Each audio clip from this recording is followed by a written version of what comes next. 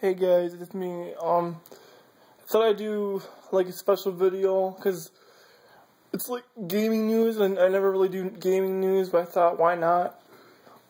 Um, it's gonna be about alien colonial marines and how that game basically sucks. How it was like a basically former former uh, shell of how it used to be because back in like 2011 the demo had like spectacular graphics and look, it looked really promising but then then when it came out we get we got this piece of crap with like oh the graphics were horrible like on on the computer they look like uh, they're uh, like I would say like first generation PS3 or Xbox controller and I heard the console versions are even worse they look like a PS2 game, which I've seen both. I've seen both the PC and the consoles, and I, would say that's true.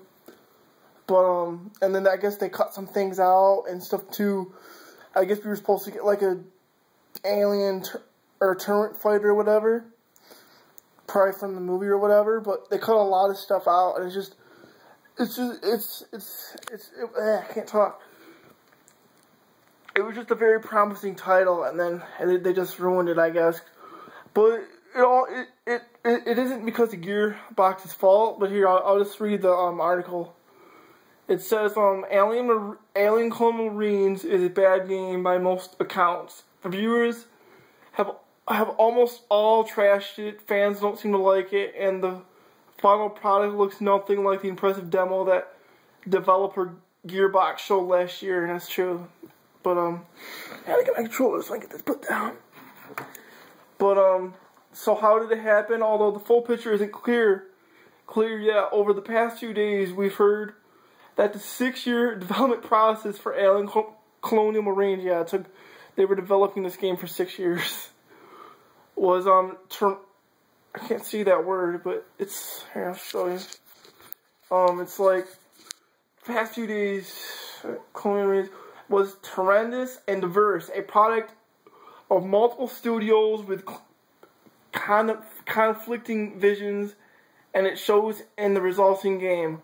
According to one per person familiar with familiar with the project who spoke to Kaku or whatever that this magazine company is called, under condition of anonymously, Gearbox outsourced the bulk of Colonial Marines, codenamed Pecan, to a studio called Timegate most recently responsible for the shooter Section 8 and a sequel. That's like that PSN game and Xbox game. I don't, I don't know if it was a PSN game or a full retail. I think it was a full retail game. I'm not sure, but it was like a it was like a multiplayer shooter. Anyways, this comes on the heels of a massive Reddit post that's been making rounds today from someone claiming to work at Gearbox, although we can't confirm that the Reddit post is credible. Everything we've heard from our source matches up. The Riddick, the Redditor said Timegate left the single player in a pretty horrid state, and that last September after Borderlands 2 shipped, Gearbox was unhappy with, with what Timegate had left them Sega was already upset with Gearbox for asking for multiple extensions since the project launched in 2006. So Gearbox had to buckle down and release a game they knew wasn't going to be good. Very good, the, the article said. The post on Reddit matches what our sources has told us, but there's more. When Timegate took over the project, our our our eh, our source said they threw out most of what Gearbox had done beforehand. All of the art and all of the art and design that Gearbox had produced during the previous four years was gone. So from 2010 until late last year, while Gearbox er, or copy by Gearbox, but Gear Gearbox was working on Borderlands 2, intently codenamed Willow 2, huh?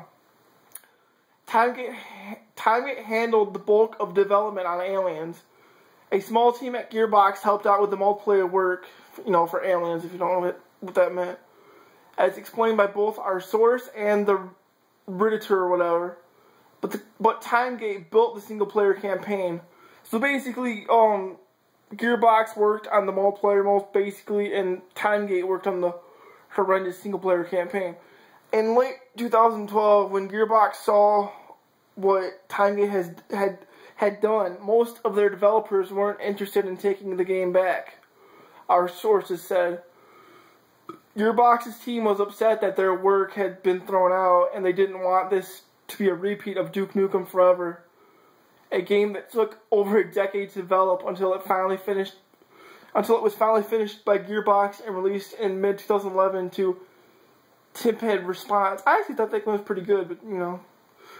But Gearbox had to finish the game again, according to our our source, they had to throw out much of tier Timegate's work and start from scratch.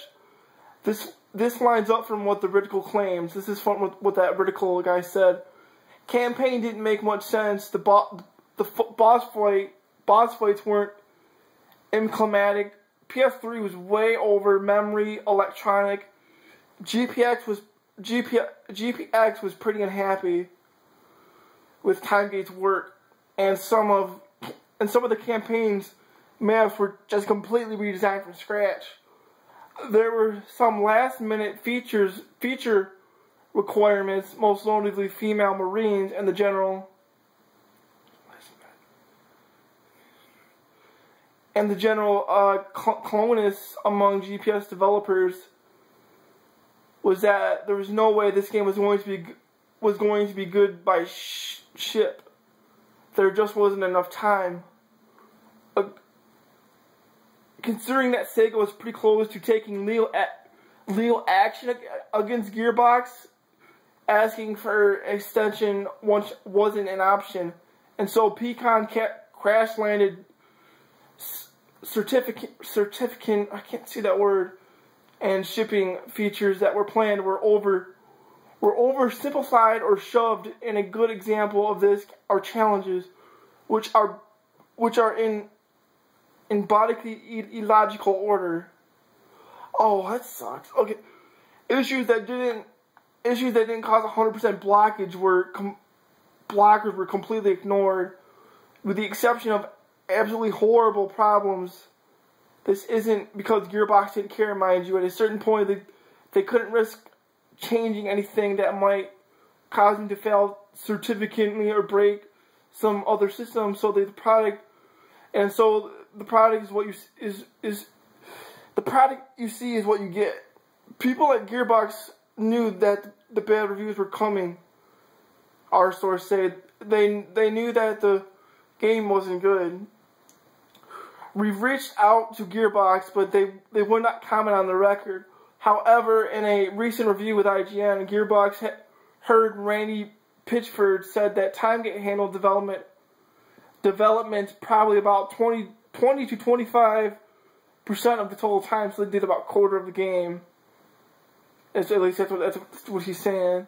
And that if you take pre-production out of it, their efforts probably equivalent to ours. Now, it's not fair to take pre-production out of it, but that's a lot about how much horsepower these guys put into it. Pitchford's statements also seem to match up with what we've heard. We've reached out to this Timegate this afternoon, but they have yet to get back to us. We'll continue to update, continue to update as as we hear more. But yeah, as as you that's based that was the whole article, but I'll I'll put it in the description if anybody wants to read it. I'll also put the um the uh the demo that was shown in 2011 how the game was like how originally shown.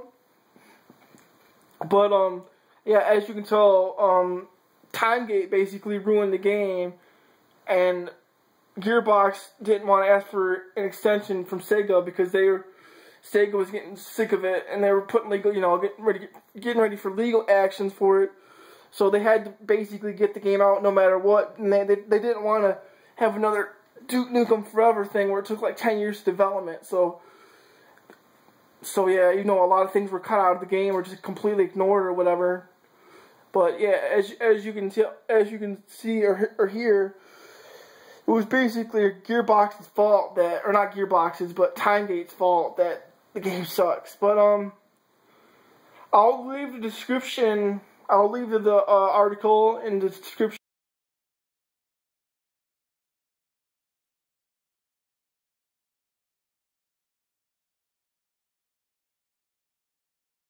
Bye.